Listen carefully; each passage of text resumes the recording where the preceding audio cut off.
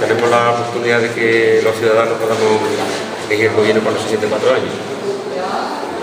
Importante que todo el mundo participe en las elecciones y que venga a votar, ¿no? Por supuesto que venga a votar, el grupo que quiera votar, pero que es importante que ellos el derecho y, y el honor de que tienen de poder cambiar, si quieren, la política de este pueblo. Vosotros habéis trabajado lo de la campaña, habéis ido a distintos centros cívicos, esperáis ahora un resultado de todo ese trabajo, de toda esa labor, a lo largo de un día en la urna. De principio hemos comentado, siempre el programa nuestro lo han hecho los ciudadanos, los vecinos, y de hecho hemos estado con ellos en todos los centros cívicos de Rosales, prácticamente son todos los barrios, además de Jauja y Granada.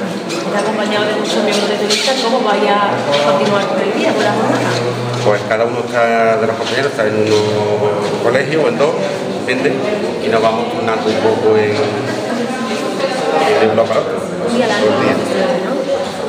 vamos, ya mismo parece que no, son las ocho y media ya mismo.